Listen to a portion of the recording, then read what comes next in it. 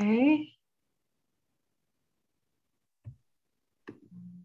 Okay, welcome everyone. I am Michelle Carter. We are at the Aram Public Library today, both face-to-face -face and virtually with local author Rebecca McLafferty.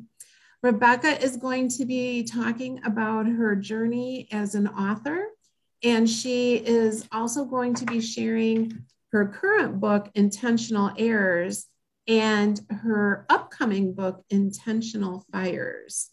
Rebecca began writing um, in high school, and she's going to share her journey with us. If you have any questions, please feel free to put them in the chat box, and um, we'll get to those at the end of the program. So take it away, Rebecca. Thank you so much, Michelle. I want to thank Michelle for the introduction and for hosting this event. Um, without her and the board of directors and the city behind us, this wouldn't be possible. So I owe my thanks to you. And uh, I'd like to start out by looking at that first slide, and that's a picture of my husband and I. And I had to include him in the slide because I would not be the author I am without his support. So I give him that. Um, all of my life, I've loved the country. And as you will hear from me, um, much of my background is from the country. So we will go to the next slide here. And Michelle already mentioned about uh, questions and comments. And I do say, please jot down any anything that comes to your mind because I love interacting with people and I'm always eager to hear what you ha- have to say or ask.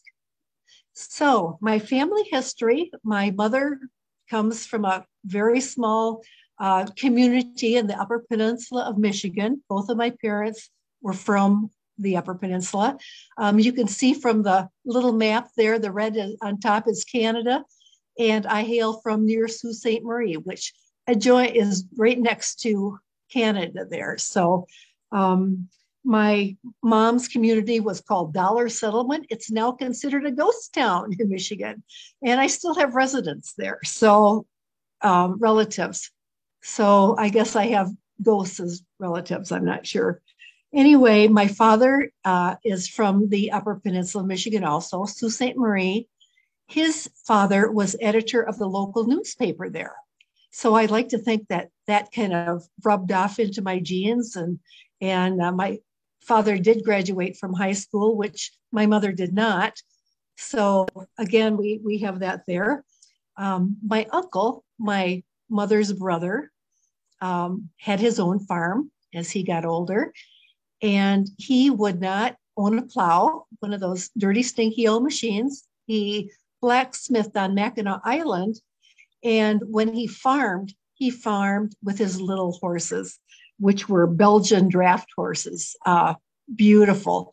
So my love of horses kind of stemmed from that between him and my grandfather. So Upper Peninsula, Michigan, uh, small, smaller towns. That's kind of my history. So influences as as I got older, my parents owned uh, two different businesses. Uh, first came a small lake uh, resort in mid-state Michigan. Um, times were kind of tough there for them, and they were very serious, business-minded folks. Eventually owned a 12-unit motel in St. John's, Michigan, which is downstate near Lansing. Now, that, as you can guess, is quite a culture change there. Um, went from a classroom of 200 to about 44. So um, I can appreciate the difference in large communities and small, and I like to use that in my writing also. So um, met my husband. We were married in 1973. He was stationed at uh, Kincheloe Air Force Base in the Upper Peninsula. Um, he we just celebrated our 48th anniversary, and a lot of those early years were military. He was in the Air Force, uh, first at Kincheloe in Michigan, and then a year later to Ramstein Air Base in Germany. And we learned a lot, me especially, I guess, about military life, Um, he worked the bases as military. I worked the bases as a civilian employee. So we um, moved to Ramstein after three years. After that, to Phoenix, Arizona, near Phoenix, Williams Air Force Base. His last, my husband's last tour, as you can see from that map, was in the Aleutian Islands, the third island from Russia. And as you can see above that, he's kind of close to Siberia. So you can only imagine what the weather was like. And I'll let you guess what they were doing that close to uh, Russia, but it lends to good story material. So, military life, just like this picture, here we are in Austria. Um, we got to see places, do a lot of fun things, went on a lot of trips. Uh, Paris was one of our favorite spots. We were there numerous times. The first trip uh, we spent, we got into Paris late at night, hailed a cab to take us to the USO so we could get a motel room. Um, went on a crazy taxi ride through Paris, up and down, zigzagging the streets, just like you would see in a chase scene on a television movie. He finally let us out at a motel. We walked inside, slept, got up the next morning, opened the blinds, and there was the USO, kitty corner across the street from us. So when you're in a foreign country, they have opinions of foreigners just as you do. So, very interesting uh, story material. Family is really important to me, to us. Um, again, you see my husband and myself there in the upper left. Uh, below us on the left is our son Sean and his wife. Um, our son passed away in, in 2010. So she remarried, and her wonderful husband is next to them there with our granddaughter, who live out east near Washington, D.C., in Virginia. So that part of our family, so, so special. On the upper right, our daughter in the middle, uh, dark hair, and her family at present.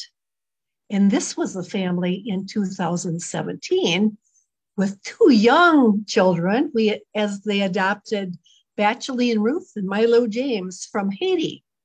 And going through that process gave us a great feel for not only the adoption process, but you know the the changes, the adapting. No, talk about a major language barrier and food barrier and everything else. So you know, family is cherished, and we learn from each other constantly from day to day.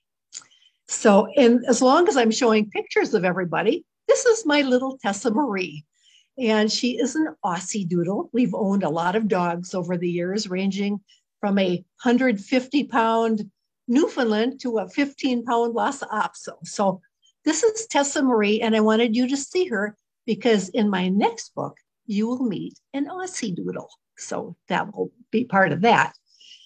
We bought a farm. Not we bought the farm, but we bought a farm. and as you can see, many years ago, it needed a lot of TLC. So that became our dream farm. It evolved into this picture. Um, a lot of lot of years, a lot of hard work, um, complete with a store and conference room. Thank you to my husband for his building expertise. Um, along with the farm came crops, and you can see my prize sunflowers, uh, my very favorite flower and how tall they grew. And we live in Wisconsin, and now every other house seems to have sunflowers by them, but they're still my favorite nonetheless. And you might see a sunflower or two mentioned in a story. So, uh, another just a quick shot granddaughter enjoying the flower leaves. So, that apples and more. We grew a lot of apples and other produce, and that allowed me to, or gave me the idea to go through the state and obtain a state certified uh, licensing permit so that I could make jams, preserves, all these things, um, and sell them at our local, excuse me, our store in the farm and other places. So again, this is all part of the entrepreneurial journey that many of my um, heroines, heroes will experience. I really have a soft spot for trying to run your own business. So you can see that there. In addition to apples, we grew crops. And this is a picture of one of our first years uh, with soybeans. And you can see me getting into it with my John Deere t-shirt and, um, you know, fitting into the, that picture. My life experience, you know, I'm from a farming background, but I wasn't a farmer by any means. And my respect for all of the farming community, anyone that deals with crops or land, you just have my greatest respect. Here's our first alpacas. We had a lot of animals on the farm, uh, and probably the most unusual were our alpacas, which are a big part of my book, Intentional Heirs. Um, Arctic Autumn, her daughter Maya, the Pinto, and the little boy Lance along just for the fun of it all. Our first babies here are called Crias. Uh, that's a baby alpaca. And like any baby, you fall in love at first sight. And uh, we, we just marvel at them. And they're definitely in my novel. So interactions with people were such fun on the farm. Uh, we loved inviting uh, school trips, field days. Um, we had a lot of events that were open to the public. And at first, the alpacas were leery of the people, and the people were leery of the alpacas. But after a little bit of coaxing, when you're holding a bucket of food, they come right up to you. So it was a fun experience for everyone. And hmm, that is an alpaca speaking, especially when you've got a mama around her new Cria, her baby. They go, hmm, hmm, and you hear that all the time. And also, this alpaca was our very first logo. So, part of the business. They also are voracious eaters and they love hay and grass. And this dark alpaca is little Miss Roscoe, who I never could take a picture of without hay sticking out of her mouth. So we have a little bit in common. She loved to munch too. Shearing alpacas was another very fun thing to do. Here's our daughter helping out. It was it involved everybody and was a long day from beginning to end. Um, in the process of shearing, we ended up with mountains of garbage bags full of fiber that we had made uh, into rugs, alpaca rugs, and there'll be a picture of them a little later. So that was another part of the, the business scheme as it unraveled. Um, my husband thought that turkeys were pets and he liked to pet them, uh, regardless of the fact that one was 35 pounds, that turkey. Um, so we didn't all share his enthusiasm for how friendly they were, but he managed to be friendly with them that showed me any animal is approachable or most any if you know what you're doing. So again, animals always have a part in my books. Um, we had a hen that wasn't a hen.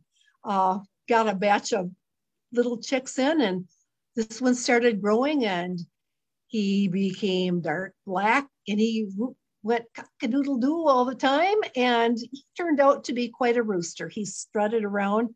Uh, he had dark blue feathers in with his black. He was very beautiful, but he got a little mean and a little aggressive. And pretty soon he was chasing me out of the pen, trying to. So I would always hold a frisbee and give him a little boink on the nose and say, you know, shoo shoo. And pretty soon it was time for chicken stew for dinner. we got rid of our rooster. We had barn cats, and I have to tell you, I grew up, I was not a cat person at all. And um, we had mice in our barn, and we needed cats. So we adopted these two from young kittens and we became inseparable. I would call the dog and the cats would come running. And I learned that what I didn't know could be quite amazing. So they were they were our little barn cats, Mickey and Billy. And then I had a store. I always wanted a bookstore and my husband built a store in the front corner of the barn. And I had books in a corner of it, but I had a lot of other things too. We had 22 vendors. And as you can see, they made everything, excuse me, from candles, um, just all kinds of things here. The, in the next one, you can see some soaps. It was incredible what they could make. And it really taught me about what they went through to sell their wares and how they interacted with people. Again, the entrepreneurial spirit that was part of everything while marketing, special events, contests, holiday events. I mean, it, it, was all part of it. And I loved the people. People were the greatest. Um, gelling and selling. Yeah, that was what I did. Um, created our own labels, a lot of merchandising going on. And that follows right through to selling books and having a website and all those things I did back then, which became part of what I do now. Um, we sold a lot of alpaca products. And if you can see me, here's a scarf. One you can see one in the picture there too. And um, yeah, we had a lot of alpaca products for sale and candles. Um, people made those bags that were hanging there for sale and you can see maple syrup and you can see honey and i have such a passion for these people that know how to do so much and I, that's why i love to write about them. Um, you know if you were doing these things what would you be doing? Christmas corner in my barn in my store it went up all year long. I would just keep adding different things to it. Um, it was my way to remember Christmas all year long and also uh, remind people hey, it's time to gift shop. I turned Christmas music on in the middle of the summer and and everybody loved it. So that was a great part of the farm that I really enjoyed was my Christmas corner. We rented facilities and here you can see a um, baby shower going on. That room that they're in was the main room in what became uh, my my writers room for writers conferences that I ended up holding. So we have whoops held excuse me a lot of uh oh go back go back go back.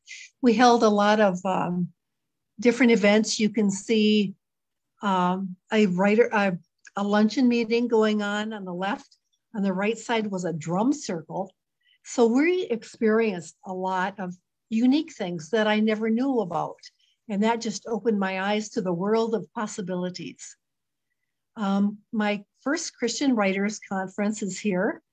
Um, we didn't have the conference room yet, and we used big tents.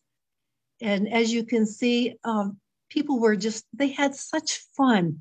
And it was so great interacting with seasoned authors and presenters that knew so much. I mean, I learned just as much, if not more, than they did. I had the privilege of emceeing the event, but I just loved it. And that was dangerous for me because when I held a, a, a microphone for the first time, I realized that I really liked it. So, so it was a dangerous situation. Really loved it. And we've had other events, um, a church group, um, approached us and they wondered if they could have a nativity set done on our farm. So they came in with cameras, they recorded it, um, all the people, parents, cameras. I felt like I was on a TV set and it was, it was great fun and another aspect of marketing and dealing with the public and just loved it. It was, it was really great. Um, on the farm, we planted something like 425 little Christmas trees. As you can see, they grew, and we learned a lot about running a Christmas tree farm. And it comes as no surprise to you then that in this next book that I am currently finishing up, the main uh, heroine is trying to make her Christmas tree, her family Christmas tree farm, trying to get it to survive. Um, there's a lot of obstacles going on, but as you can see, you know, with Christmas tree farms, all these things, my husband used to tell me, write what you know. And I used to get a little frustrated because I thought I can research anything and write about it. And I could to an extent, but I found that the more I knew about different things, I could write with more authenticity. So, just like Christmas trees, um, we had a lot of events on the farm to raise awareness about particular causes. Um, we did fundraisers for things. Um, it really helped me to know what the public was going to stand behind and what some people could be outspoken against. And again, that is great story material for, for me. It really helped me learn a lot, you know, holding these events. Um, just a little tidbit on the farm you have to have a playground when you have children involved. And being that my husband was in parks and recreation for 30 years, he became a valuable resource as well. Um, not only could we build a playground, but he knew about vandalism and all of the public issues of what was where and who was doing things to different areas. And that as you will also notice, is very prevalent in my story writing. Our motto then was helping people create memories. And you see that Country Memories Farm, that was our, our sign uh, that my husband was given when he retired. And we still have that sign today, although we do not live at the farm anymore that's still an intricate part of our life. And that sign is mounted on our back deck, as a matter of fact. So some things never go out of style. So reading, writing, and retirement. And there's me with a whole bunch of fish. And Snoopy, I'm a huge Snoopy fan. So you can see that I've got Snoopy and Woodstock in there fishing as well. Um, what a great way to fulfill a dream is to be able to retire and write what I dreamt of doing all those years. But if you can mold it, but if you don't do it, you know, action does speak louder than words. I had to know my resources in all regards. And firsthand experience was so important to me through what I had done and what I'm continuing to do.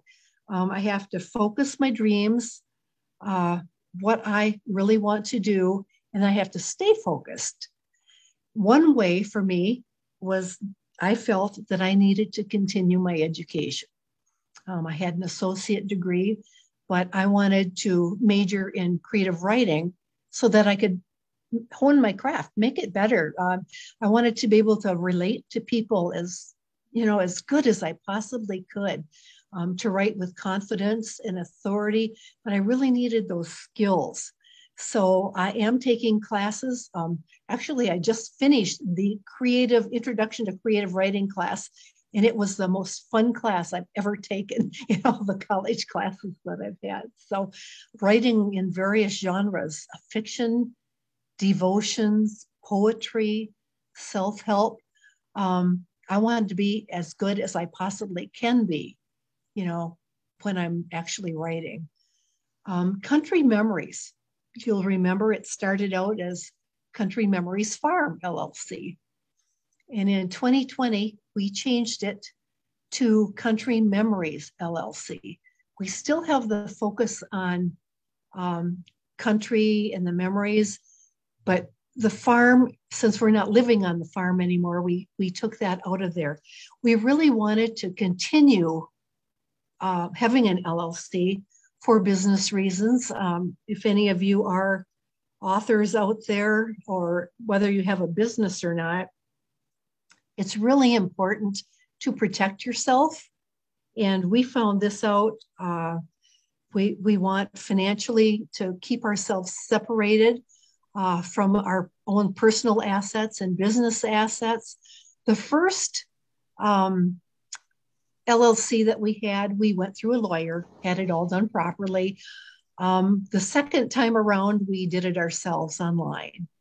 And if you have a basic knowledge of it, it, it really is fairly simple to do online. It commits us to our the professionalism of our business and people take you more serious. They know that it's not just a hobby when you have an LLC. So you will see our new logo, the C and the M for Country Memories. The wheat is still a symbol of our country, even though it's a little colorized now, kind of pretty, I think. Um, but the wheat is also a symbol of country. It's also a symbol, uh, to me, uh, is bread or the bread of life, which is Jesus. And I do have, uh, we have a Christian background, and that is all part of our business. So I'm really pleased with our new logo, and we have our website and products for sale. So running the business. Um, Intentional Heirs is actually the third book I've written. Um, you can see a picture of it there, and it was my pride and joy when it came out. Uh, I love the the cover that was designed, and actually the people on the cover, the the lady was my own uh, choice when I sent photographs to my designer. This was one, and the mountains, and and she did it just like I hoped she would. It was great. Um, my first two books, I say, were practice books. Uh, I grew in my writing as I went along. But this is a Christian romantic suspense novel. It's staged in a town near Livingston, a fiction town, and I will get to that later. Uh, it's a clean written book, uh, book one of the Sunrise Crick series. Crick is not creek misspelled. Crick is a very small creek and they do use that word in Montana too. So, so it, it's authentic. Um, book one of the Sunrise Crick series. Um, here you will see us in Montana. It was the way that I could do my own authentic research, uh, write what you know. And so here you see us sitting in front of what was acclaimed to be the best in the West, serving beef, buffalo, and elk hamburgers. So when I was sitting in this restaurant, I, I knew that I was in Montana. Um, you know, it was very authentic, good food too. I will say, I won't tell you which burgers we had, but it was really good. We enjoyed the scenery behind us, as you can see there. We also took in the sights. Um, you can see on the left uh, people photographing the huge buffalo uh, roundup. We were there for the annual buffalo roundup um, in uh, Custer National Park. And they had lots of wranglers on hand to talk to the people. And it really gave me the feel for being, you know, in Montana, their history, uh, which is traditional, but the history that they're so proud of and live it lives on today. Um, my husband fished the Yellowstone River and it was just like being in a picture. Um, as you can see, I was not fishing in the picture. I was doing what was suggested, and that was taking pictures and watching for bear while he was fishing, because bear have been known to come up behind people when they were fishing. So that was part of that story. Um, while we were fishing, we were there for a good while, and we could see the clouds coming in and I had heard that Montana was prone to quick storms, and it came in fast with lightning shooting down. And needless to say, that ended my husband's fishing in a big hurry. Uh, the line came out of the water. We didn't want to be electrocuted, so we hurried back to the car and uh, got away from that. But it was all experiences that I could relate to Montana because we lived it, we were there. And uh, writing a book, oh my goodness, there's so much to consider. What genre do you want to write? Do you want to write suspense? Do you want to write romance, um, horror, science fiction? What is it? Um, what do you want to write about? And those are all things that I had to consider um, before I wrote my first book. But one of the most fun parts of writing a book is creating your characters, especially your main ones. Uh, you have to decide what kind of personalities they're going to have. Um, I created a goal, motivation, and conflict chart. um, completed questions about them. I'm going to show you, here's a, here's a slide with a sample of a question and answer chart for main characters because you need to know everything about them that you can come up with possibly because you don't know what's going to come up in the story um, you you think okay i need to know their hair color the color of their eyes where do they live uh, what do they like what don't they like? But there's so much more to this. You need to know they hear gunshots. What are they going to do? Are they going to drop to the ground? Are they going to you know what what are they going to do?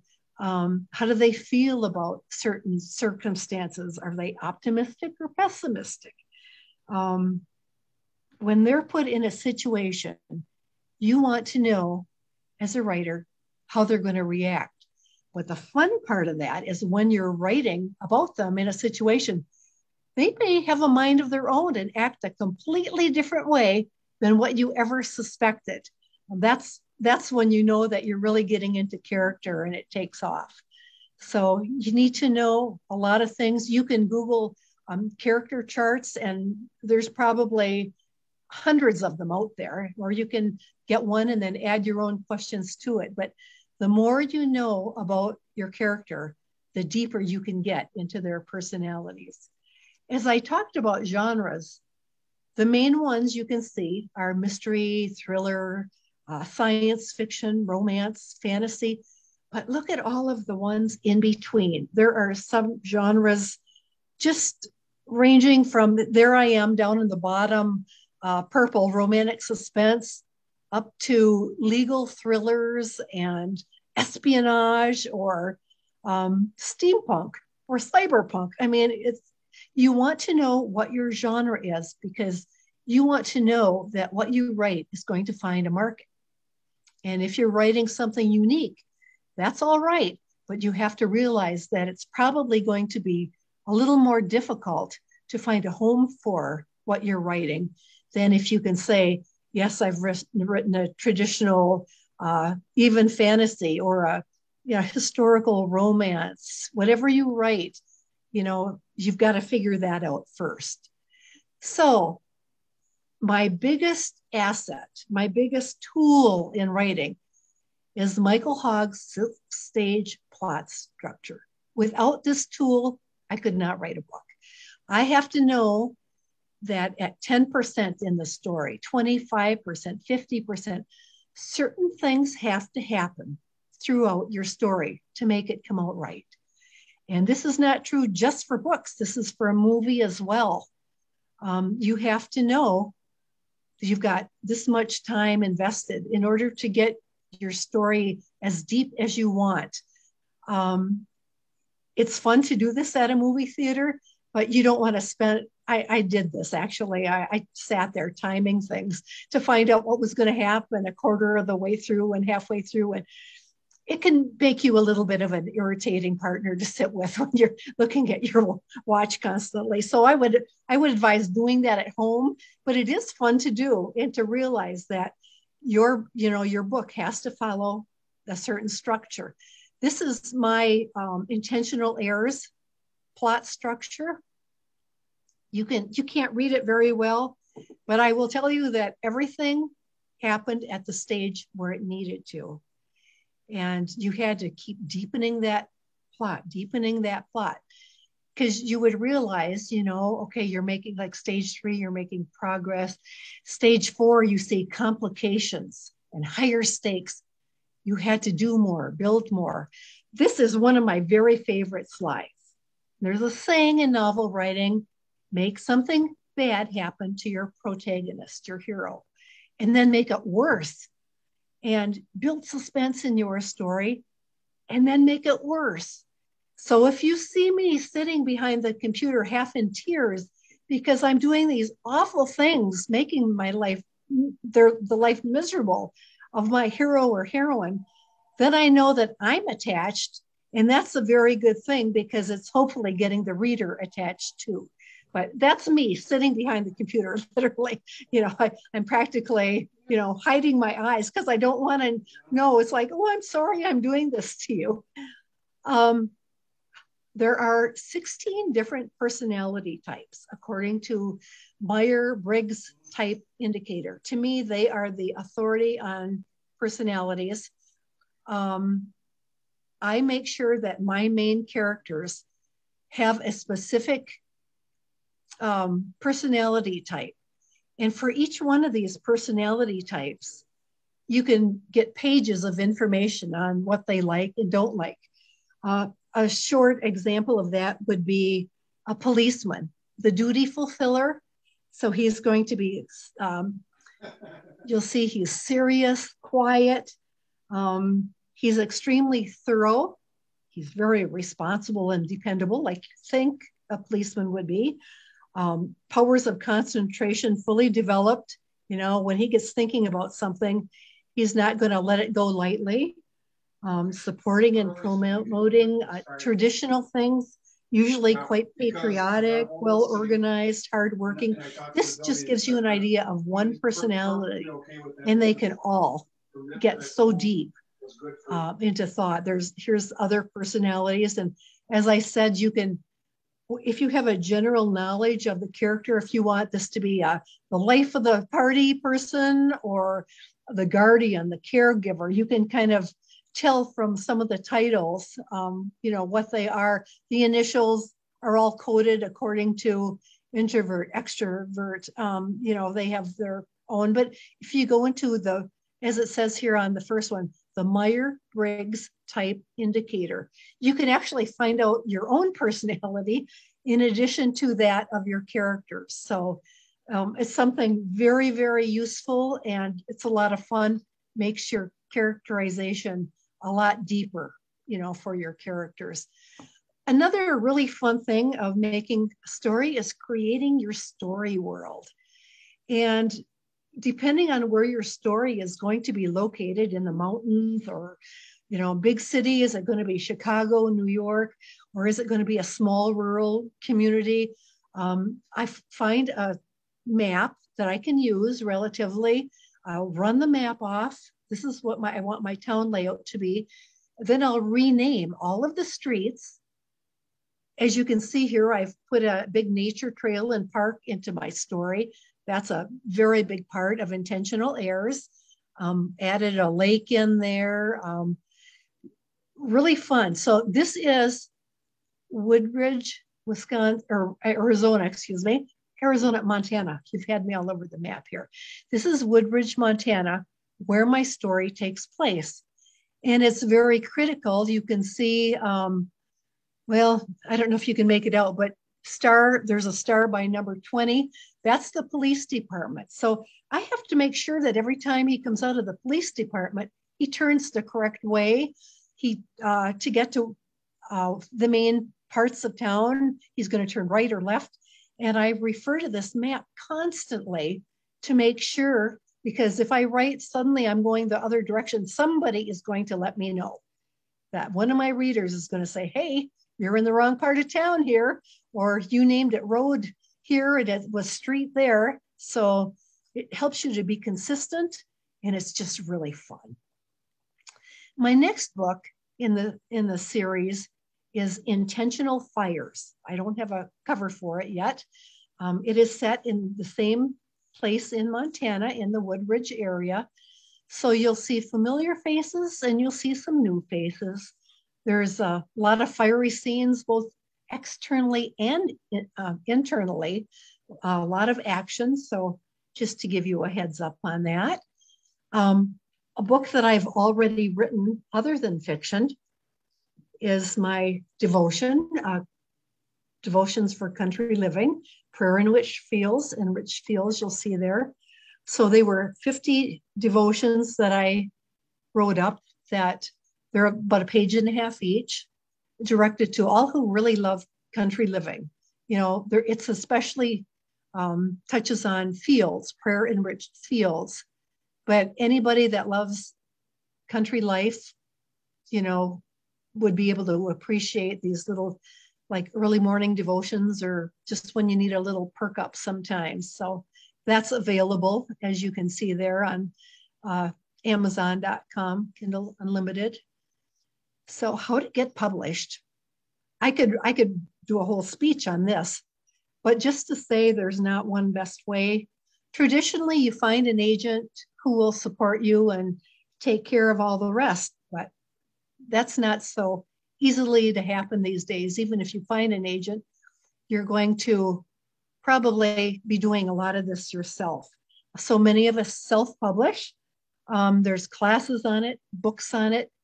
Um, if you actually go to Amazon.com, not that you want to publish, but Kindle Direct Publishing has a lot of great tutorials on there that will tell you about, you know, give you advice on doing this or that. And you can kind of feel out whether that's something you want to do or not. So just little tidbits there. Living my dreams, that's what I'm doing. Um, you can see the bottom part of my author page there. Um, shine is so his influence never ends. That's my little logo there. Um, putting in the time and energy to do it is living my dream, being able to live my dream. You know, you get, you do the email, I've got blog posts that I do. Um, I contribute weekly to Fill My Cup Lord. Um, get yourself out there to do it. And every little part you have is just another little angle. It's like spidering off of, of the main, you know, web, if you want to create that as such. Why write? Because it fulfills my dreams. And I learned so much about myself doing it and other people and other people's lives. And oh, it's very fulfilling. Um, when I was growing up, I read. And as you can see by this, a lot of young girls read the Nancy Drew. Oh, they're as popular today, I think, I'm assuming, as they were uh, back then. Michelle will be able to tell us that. But, um, you know, whether you, you know, here's Black Storm, Timber Trail Riders, they all had uh, animals in them or youth conflicts against each other. Um, what authors influenced me? I'm, this picture is a little dark, but I wanted to show you it was the billboard um, at American Christian Fiction Writers Conference in 2010. I had the privilege of hearing Janette Oke speak. And she was the first uh, Christian fiction author I had ever read. I can't, I just couldn't believe how real to life her characters were. And it just set the stage for how I loved you know, meeting authors. Here I am with with um, Susan Marlene down here in the bottom right. You're watching Sue, and in the in the uh, middle there is patty Smith Hall. Uh, she writes a lot, uh, regular, um, full length novels, as well as she ha has written for uh, Love Inspired extensively. So going to a conference, here I am at American Christian Fiction Writers um, honing your trade, learning more, um, keeping in touch, and just always growing. You know, why do I write? Why do I make my characters go through what they do? Um, it's never enough. Just keep going, keep growing yourself and your writing. Uh, writing resources are a lot. These are some of my favorites. Um, characters for uh, careers for characters, uh, DiAnn Mills's uh, The Dance of Character and Plot. K.M. Weiland, I'm a big fan of her self-help, you know, how to, and she's got workbooks and and the regular books, of course, that go with them. Uh, Sarah Grosskopf recently put out uh, the only four historical fiction mistakes, and she is just a wonderful um, historical fiction writer as well. You would wonder that a simple book on baby names can be research material, and it is. When you're looking for names for your characters, what better way to pick out names? And I always have to know the meaning behind my names. I don't want somebody named Tinkerbell Bell to be a, a fierce villain unless that's part of the draw of the whole thing. So, uh, creating character arcs, I always want my characters to go through the story growing and end the story completely different than what they started. So that's really the most of what I have to say here. Um, unless there's any questions or answers for anybody, before I do that, I want to again thank Michelle for allowing this to happen so we could be here with everybody and uh, just really enjoy the presentation. Such a privilege. Thank you, Michelle. You are very welcome. Thank you for joining us, everyone. Um, we'll take a few minutes for questions. If anybody has some, um, you can just unmute your microphones, or if you'd rather chat, you can do that too. And we got about five minutes for questions. I have a question. Um, several people couldn't make it tonight. And um, Sarah, actually, you know, she uh, hurt her back. So, you know, keep her in oh, prayer. Yeah. But um, she was wondering if there's a way to be able to listen to this in the future and where to go to do it. Um, Where I can answer that for you, Susan. So the session was recorded and we'll be posting it on our Facebook channel, but it'll end up on our YouTube as well. Awesome. So the Aram, the Aram Public Library YouTube. And when we post it, I'll send it to Rebecca. And then anybody who registered tonight will also get it. Awesome. Oh, excellent. Excellent. Thank you. Yeah. That's great. Okay. Yeah.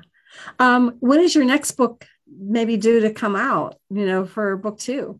yes, I'm looking, I'm looking towards the end of the year for that okay. to happen.